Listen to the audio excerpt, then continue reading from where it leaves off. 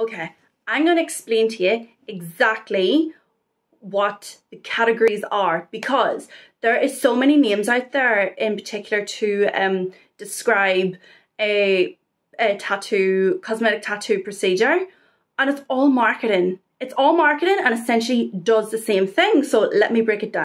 There are only two physical things that you see when you get tattooed. It is either hair strokes or a powder brow, okay? So that's where they kind of fill it in.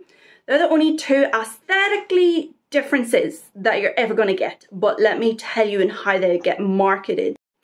Let's start with the hair strokes. So, we're talking about the actual effect, the actual hair strokes. They can be either achieved by a hand tool, which is what microblading is, or they can also be achieved with the actual tattoo machine as well. Either way, still hair stroke tattoo. They can also be known as eyebrow embroidery, feathering, hair strokes, nano strokes, 5D, 7D eyebrows. You get what I mean, but they're all the same end result.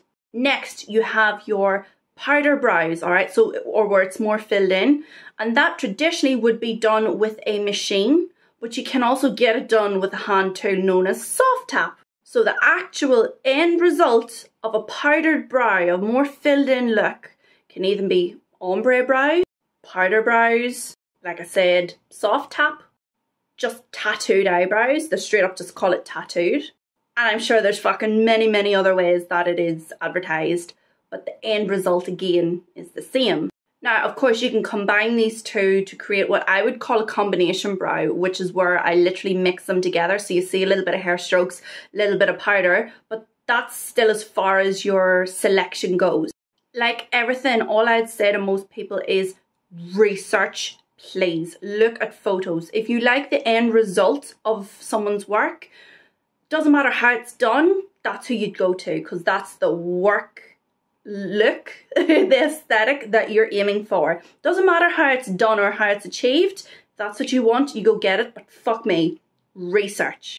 Different people do different styles, even though it's the same technique. Everyone has a certain like signature way of doing things.